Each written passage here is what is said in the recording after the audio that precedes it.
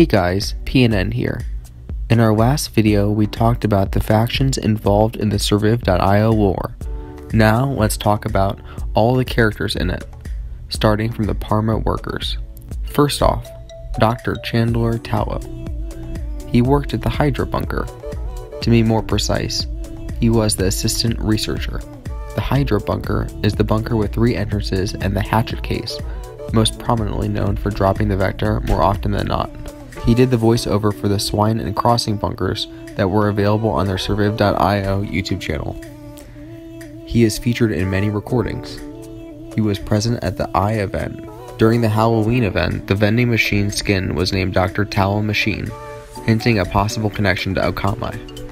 Or he could have really loved those sodas, but the fact that his last name was replaced could also mean he uses alternate names.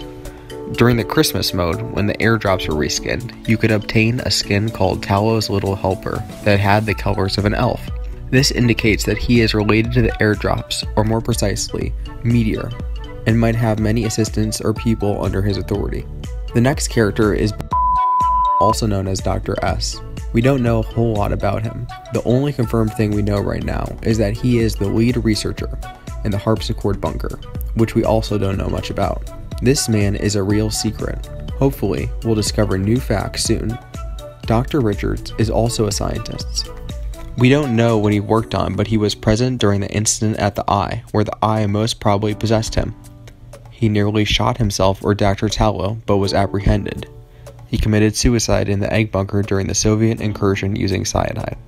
Dr. Jackson is another scientist slash researcher working for Parma. Unfortunately, we don't know where he was stationed or what he was working on. On the 15th of April, he and five other scientists were trapped in the egg bunker during the Soviet incursion. Dr. Jackson attempted to reach Bunker 17, also known as the Fowl, to get food supplies.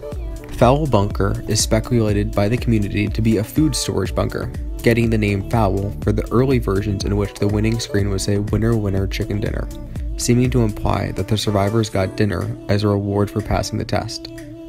After 50 minutes, contact with Dr. Jackson was lost. Later, Chandler Tallow states that Jackson was found bleeding in the snow. It is unconfirmed if Jackson survived, but he was surely badly wounded.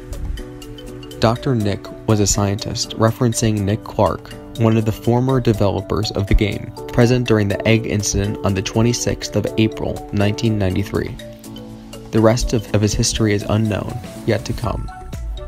Dr. Justin, also referencing Justin Kim, the other former developer, is in a similar situation as Dr. Nick. Occupation unknown, also present in the infamous egg incident. Dr. Spud Solanum is the chief scientist of the Parma FSTMS division, which stands for Food, Science, Terraformation, and Molecular Synthesis. But we'll talk about FSTMS in a future video. He is the person responsible for the weaponization of the potatoes, namely the invention of the potato cannon and spud gun, as well as the potato abominations. Who would have guessed the Spud guy created potato related guns? Now, those are all of the Parma workers we know of. The lore isn't only Parma. Let's take a look at the other important characters.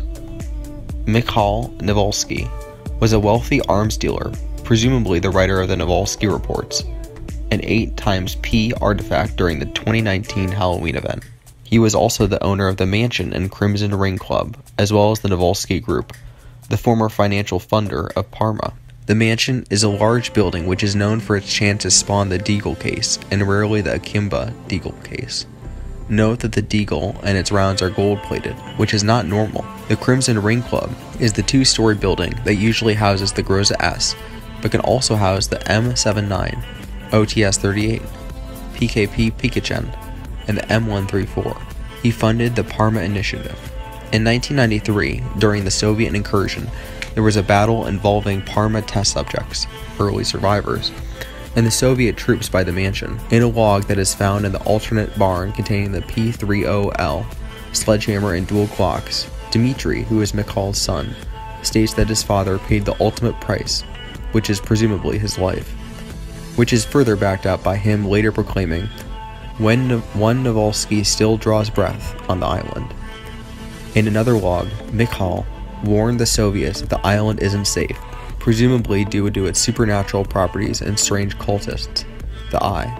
However, they seemingly didn't heed his warning, meddling with some sort of thing or powers, and killing Navalsky as a result. The Soviets blamed him for the unknown incident. Dmitry Navalsky, as mentioned before, is Mikhail's son. We can hear his voice in the alternate barn. And he has a strangely American accent, unlike his father, who had a thick Russian accent. The weapons hidden in the chest are thought to have been used by him to attack the Soviets, as well as the Groza. We could also hear him in the club's recording. He wanted revenge for his father's death. He got it after a fierce battle, presumably killing the Red Commander in the pool.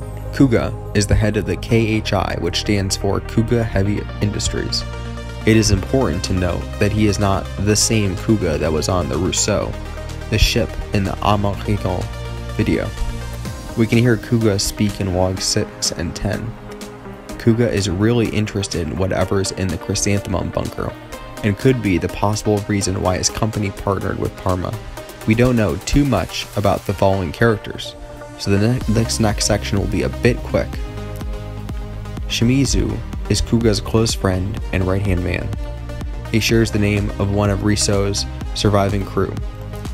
He is more cautious in tampering with the power of the wheel's hold, and claimed that the EMFs were exceedingly safe exposure levels. During Log 10, they were reluctantly released it out on Kuga's orders. Mamiya Rinzo was the captain of the Rousseau and is the narrator during the Aman Haku video. He presumably wrote Rinzo's log, an 8 times P artifact during the 2019 Halloween mode.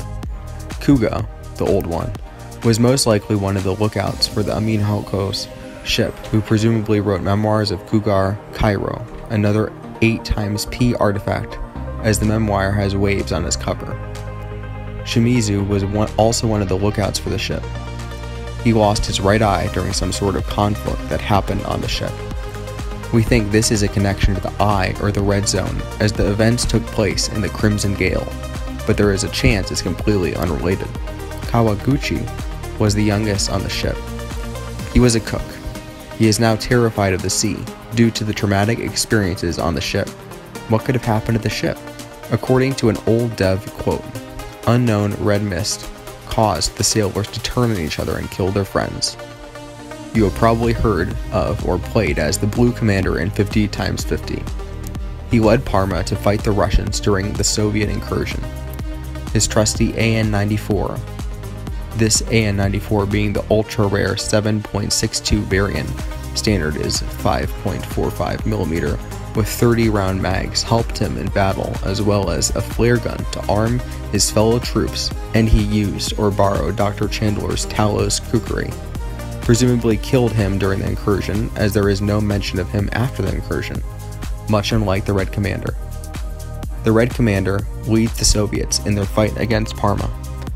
In battle, he uses the only shotgun to use slugs in game, the Super 90, as well as a flare gun, like the Blue Commander. He also uses the machete Taiga, that is placed in the Crimson Club's upper vault and is given upon promotion to Red Commander in 50 x 50. The Red Commander is probably related to the defective regiment of the Spetsnaz, who were hell-bent on rebuilding the USSR due to the machete being the Spetsnaz survival slash combat machete.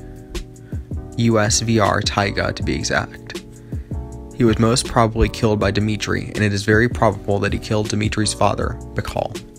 Note that the commanders you play as in 50 x 50 are not the commanders that were in the original incursion. They were real humans, not survivors, as well as all the soldiers. Heinrich Henry Friedrich Emil Lenz is a German physicist that studied electromagnetism. This indicates that the red zone is actually electromagnetic waves, you might remember that his surname from school. Indeed, a person called Wells did exist. He is responsible for Lenz's law about electromagnetic fields. Thank you for watching this way longer than a usual video. See you all next time. Peace out.